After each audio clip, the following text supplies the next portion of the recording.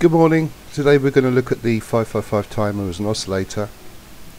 An oscillator simply means that the circuit switches off, its output switches off and on, off and on, off and on, as you see here. So it goes high, low, high, low, high, low.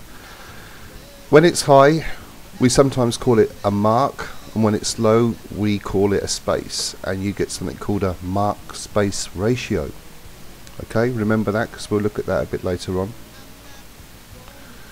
You probably know where to get most of this stuff from because you're quite familiar with the interface now, but I'm going to show you that you get the 555 timer from the mixed tab. I've chosen the virtual one. The power supply VCC and ground. Resistor, capacitor, the LED and this is an oscilloscope and we get that from over here. Left click drag where you want it on the screen. My one's set up to look at the output pin 3 and the waveform either at pin 2 or pin 6 the output as we see switches on and off.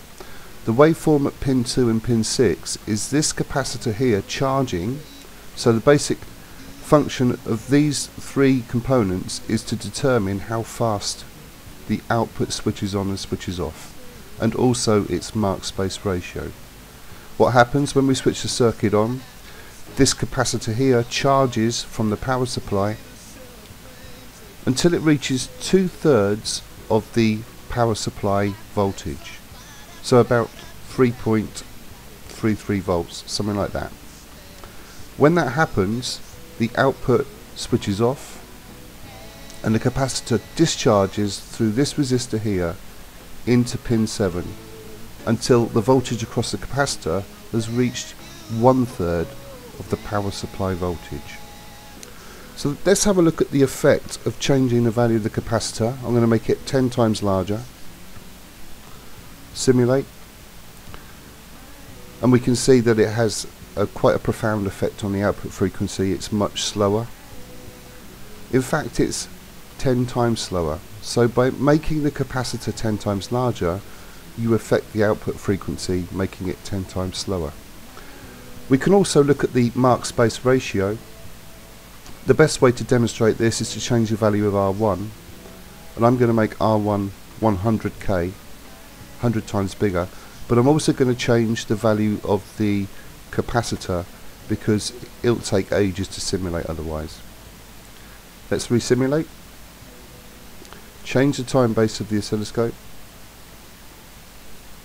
And now you can see that the mark space ratio, the ratio between the amount of time the output is high and low, has changed dramatically.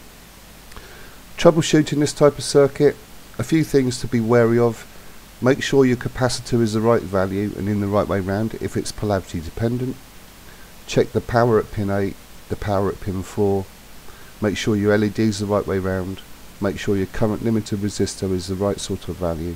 And make sure your ground is connected. Hope this has helped. Thank you very much. See you during the next one.